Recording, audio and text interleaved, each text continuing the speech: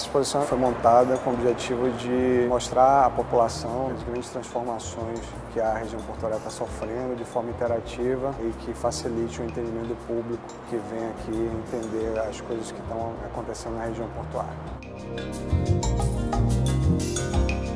Antes, quando você lembrava do Porto, você associava uma região esquecida, que só vivia do passado. Trouxeram um presente e já estão pensando no futuro. É isso que está interessante, de ter toda essa integração com toda essa interatividade.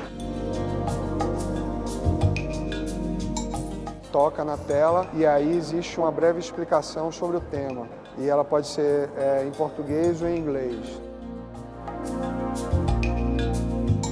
Através de imagens, né, infográficos e informações detalhadas, mostrar ao público como é que a região vai ficar no futuro.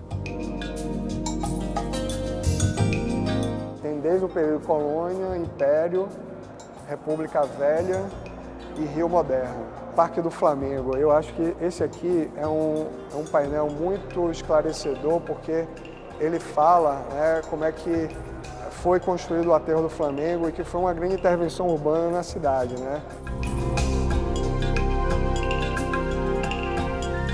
A pessoa pode vir aqui e ela escolher né, o, o meu, né, que é o meu de o meu Porto Maravilha, né, na língua que ela desejar, né, e escolher a cor e o formato da, da letra e ela customiza o seu meu e ele aparece ali na, na tela. Aqui nessa pílula já tem uma projeção da imagem de, da nova Rodrigues Alves, na região próxima à Praça Mauá, entrada do túnel da binária, a via binária no Morro da Saúde. Né?